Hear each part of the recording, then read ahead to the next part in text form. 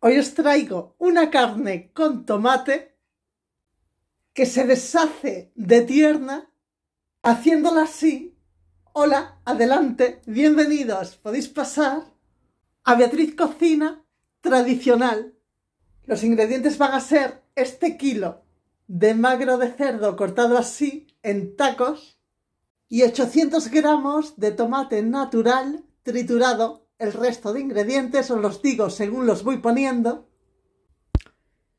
Y también por escrito en la cajita de descripción y así podéis tomar nota cómodamente. Una cazuela amplia, grande, ya en la placa, con un chorro escaso de aceite de oliva, así que justo cubra el fondo para comenzar a sofreír la carne, a marcarla para que conserve todos sus jugos. Ahora no quiero que se haga, simplemente que quede tostada. Y para eso, temperatura muy alta, de un nivel máximo del 9 en el 8. La carne salpimentada.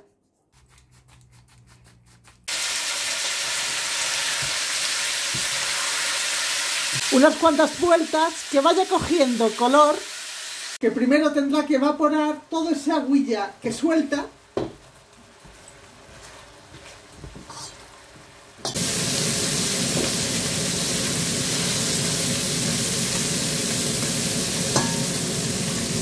La carne ya ha quedado tostada, toda esa costrilla con la sustancia luego desaparecerá.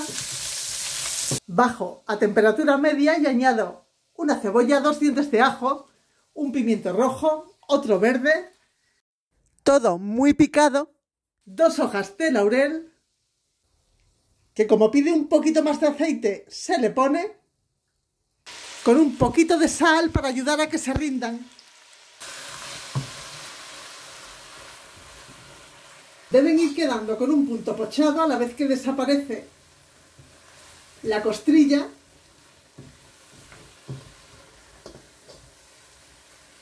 Que esta es la base, aquí queda toda la sustancia de la carne, del sofrito. Para seguir subiéndole el sabor, el puntito del vino, le voy a poner blanco 100 mililitros y así lo dejo que vaya reduciendo, que evapore el alcohol, aunque nunca lo pierde del todo. Y mientras aprovecho para añadir alguna hierba campera, una cucharadita de las más pequeñas de tomillo, otra de romero y albahaca que casa muy bien con el tomate. Bien mezcladas, que se vayan integrando todos los sabores el vino que ya ha desaparecido y mirad, si yo ahora pusiera el tomate, la carne se encalla y queda dura. Así que antes un vaso repleto de agua, 250 mililitros, así que casi la cubra, tapo y la dejo haciéndose tranquilamente, manteniendo esa temperatura media de vez en cuando, sin abrir, moviendo en vaivén la cazuela para que no se pegue. Han pasado 15 minutos, el agua ha reducido, pongo ya el tomate triturado. Y para que no quede ácido, dos opciones, azúcar o una cucharadita de bicarbonato. Mezclo un poco, ya no añado más sal, no es necesario. Vuelvo a tapar y la dejo hacer así, con ese chup chup lento, hasta que quede tierna del todo. Recordad un ligero meneillo de vez en cuando, que ya sabéis que el tomate tiende a agarrarse. Han pasado 20 minutos, ya ha quedado tierna y en su punto, aunque también dependerá de la calidad de la carne.